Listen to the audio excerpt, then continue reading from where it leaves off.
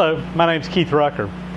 So um, next project is again working on the J Vance planer matcher long-term project we've been having going on out here at the Georgia Museum of Agriculture now for quite a while. We're getting close to being done and uh, my last video we made the pressure plate on the outfeed side that holds the board down as the uh, bottom is planed on the board and we got all that machined it's back on the machine it's ready to go uh, except it needs uh, elevation screws so it needs two threaded rods in either end that uh, will thread down into it. When you rotate these, they'll have a chain going between them to synchronize them so they both turn at the same time.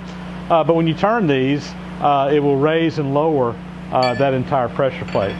So I've got some three quarter inch stock here uh, that we've got cut to length uh, and it basically just needs to be threaded on the bottom here with a three quarter eight left hand thread. Now, three quarter eight is an oddball size, and for those that have watched some of my older videos, this is a little bit of a rerun because we actually made some of these for uh, some other steps uh, previously.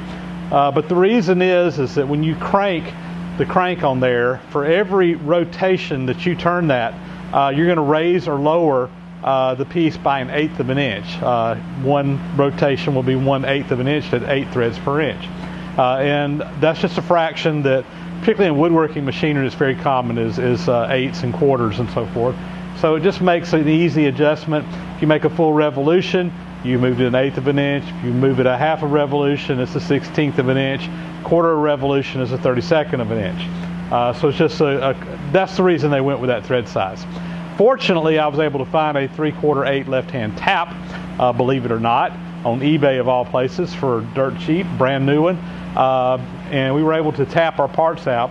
Uh, but of course, uh, on on these, we're just going to have to thread these on the lathe. Now, the reason that I'm shooting a separate video for this, because I've already shown this in an earlier video, uh, is because in my last videos, I got a lot of questions from people as to why did I not use a steady rest on my lathe. The steady rest being a uh, one of these uh, that will put pressure so the rod will be coming through here and the cutter is coming in right here and you actually have pressure on the top and the back of that to hold it in place to keep it from flexing. So on, particularly on smaller diameter stuff, uh, you can actually make this bend uh, on the lathe and it makes it difficult to machine, particularly on longer pieces. Uh, well, the reason I wasn't using a steady rest is I didn't have one. Uh, so this is the steady rest uh, for this Lodge and Shipley 16-inch uh, Model X lathe. Now, actually, this one is off of an earlier uh, Lodge and Shipley lathe. I can't remember the exact model number, but uh, I think the Model X's were introduced in the sometime in the 1940s. But previous to that, Lodge and Shipley was making a very similar lathe, uh, with the exception of the headstock, the gearing in the headstock. And uh, as far as the carriage goes, uh, all that I think it was more or less identical, uh, but they upgraded to a slightly different gearbox design in the headstock. well, a friend of mine, Ben Shank. Uh, ben is uh, actually someone I've known for quite a few years now, uh, mostly through the old woodworking machines forum, owwm.com, uh, but also through my YouTube channel. Uh, ben lives up in uh, Roanoke, Virginia, and he happens to have one of the earlier Lodge and Shipley lathes, 16 inch, same size as what I have. Ben came down a couple of weeks ago and we did our little event down here in Tifton, restoring the table saw for the museum and uh, we were, got to talking, and he says, "Yeah, I've got the steady rest, and I'm pretty sure it'll fit the lathe." Well, he mailed it to me in the mail. Uh, he's letting me borrow it actually. Uh, he mailed it to me in the mail, and uh, it looks like everything's going to fit. I haven't actually put it on the machine yet, but it looks like it's going to work, and we'll show that going on here in just a little bit. So I'm going to use it for this job, and I'll show you guys how to use a, a steady rest or a follow rest. Excuse me, is the correct name for this one. A follow rest because it follows along with the tool uh, steady rest being one that's stable. I've got steady rest, I don't have the follow rest. Uh, clarification. So anyway, we're going to use it, we're going to try it out, and assuming everything works, which I think it will, um, my plan is is that I'm going to actually send these castings off to Cattail Foundry that does some casting work for me and have some copies of the castings done and um, they'll send those back to me and I'll actually be able to make uh, a copy of this uh, to fit on my lathe. That's the plan. Uh, we're going to try it out. So let's go put the, the follow rest on the lathe and uh, we'll show you go through the process of doing some left hand threading. So, so this piece just kind of fits back here onto the dovetailed ways. Um, and you bring it up and just clamp it down. So um, there's a gib down here on the bottom of this uh, dovetail that just tightens up when you tighten up the screws over here. Let me change the angle. All right, maybe you can see this a little bit better now. So this side is dovetailed in and this side is just uh, milled square, but there's a uh, dovetail gib uh, down here. And when you tighten these screws up, it uh, just tightens that the dovetail up on the bottom there and it basically just clamps this uh, this piece in place. So uh, I'm just going to do it thumb tight right now. We'll uh, get our piece of metal in here and uh, figure out exactly where we need to place it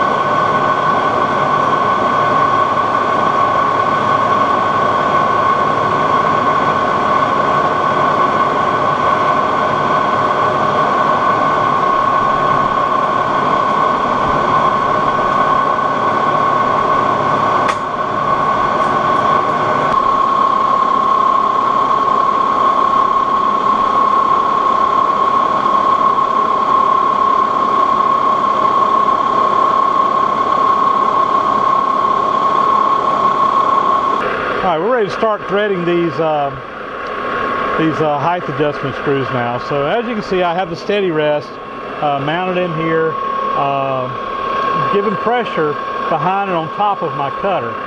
Uh, my cutter's in here, sticking out a little bit longer than I want to, but that's just the way it's got to be uh, for the setup. This should work. My compound is set at 30 degrees, but it, because I'm doing left hand, it's tilted backwards from normal, so it's coming in this direction rather than this direction. Um, we always want to be cutting on the forward edge of that cutter as we're cutting across. So everything's ready to go. We're going to just uh, get it in there close, uh, make a scratch cut, make sure we're cutting eight threads per inch, and then we'll start uh, cutting these threads.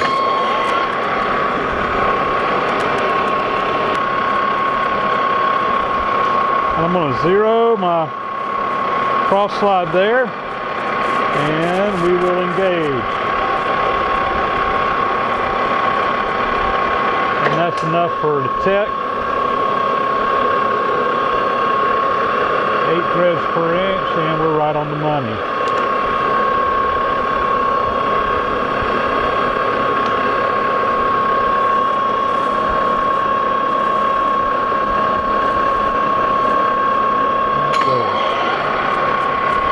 make a mark right here.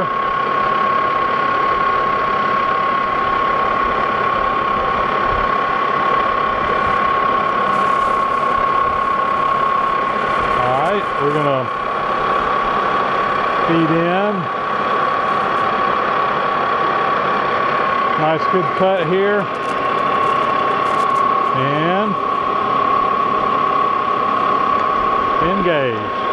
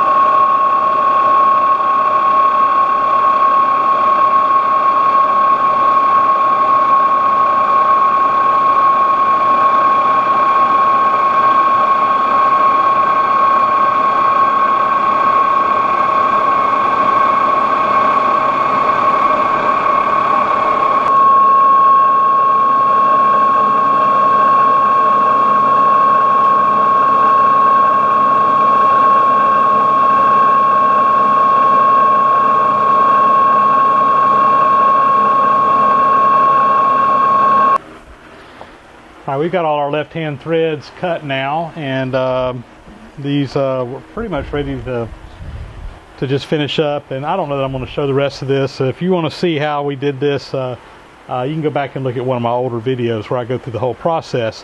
Uh, but the main thing I want to do is illustrate the use of this follow rest, and this is a prime example of where a follow rest on a lathe uh, really comes in handy.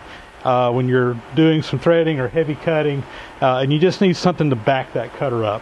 So this is a um, this is an attachment that this lathe has been needing for a while.